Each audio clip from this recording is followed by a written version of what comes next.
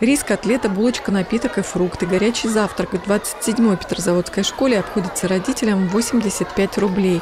Ежедневно его готовят примерно на 400 младших школьников, это около 80% от всех учащихся первых-четвертых классов.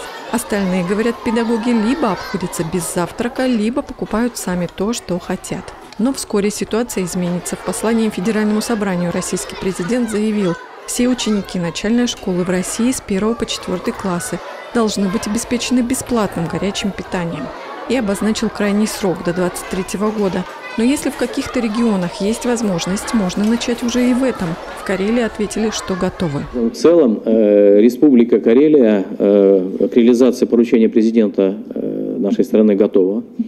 И как врач э, особо подчеркну, что без э, качественного и сбалансированного питания мы не можем вырастить здоровое поколение, что именно в этом возрасте э, закладываются основы здоровья. Заявив о готовности, карельские власти при этом понимают, для запуска потребуется большая подготовительная работа.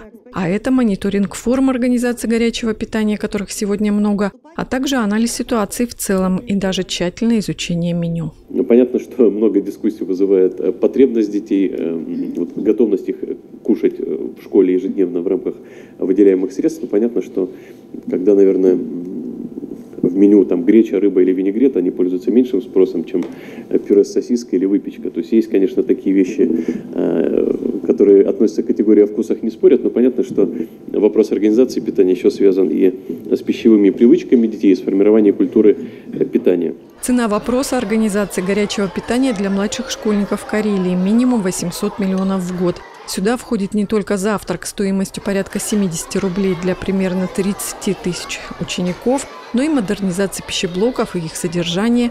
Сегодня в цене одной порции больше половины – это торговая наценка предприятия общепита. В ней зарплата сотрудников и много еще всего. Мы полностью берем на себя ответственность за ремонт торгово-технологического оборудования, оснащение школьных столовых.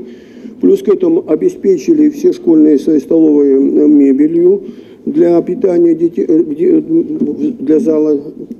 Далее, значит, э, постоянно э, докомплектовываем оборудованием недостающим, ремонтируем вентиляционные системы, канализационные системы, водопроводы. Финансирование обязательного горячего школьного питания по поручению президента будет осуществляться из трех источников – федерального, регионального и местного. Большая часть – это субсидия из центра – в Министерстве образования Карелии уже отправили заявку в Минпрос России на 4 месяца следующего учебного года. Это около 178 миллионов рублей. Светлана Воробьева, Сергей Беляев, Служба новостей.